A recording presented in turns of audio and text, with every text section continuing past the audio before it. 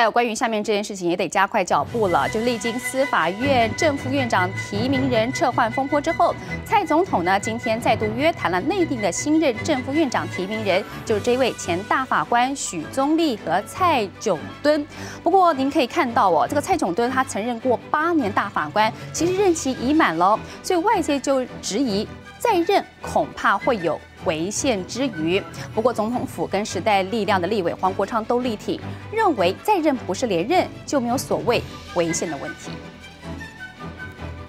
内定司法院长提名人许宗力开自己的灰色轿车抵达总统府，在宪兵引导下从正门走进府内。接着内定副院长提名人蔡总顿五位大法官被提名人也陆续入府接受蔡总统约询。那事实上现在带这些相关的程序还在进行当中，那等人选确定。那这些程序完成，那府方也会召开正式的记者会，向大家来介绍提名的人选，那并。在之后向立法院送出咨文，双方畅谈一个小时四十分钟，许宗力才开车跟蔡总顿一起离开。这两位人选之所以受到蔡总统青睐，因为他们都有丰富的学经历。内地副院长蔡总顿历任桃园、台北地方法院法官，一路做到高等法院行政庭长，资历完整，还曾推动法官法修法，支持法官改革。内地院长许宗力具德国哥廷根大学法学博士学历，曾任台大法学院长，还在两千零三年到二零一一年担任八。年的大法官，不过外界质疑，就因为许宗力的大法官任期已满，再被提名恐有连任违宪之余，过去也没有大法官回国的案例。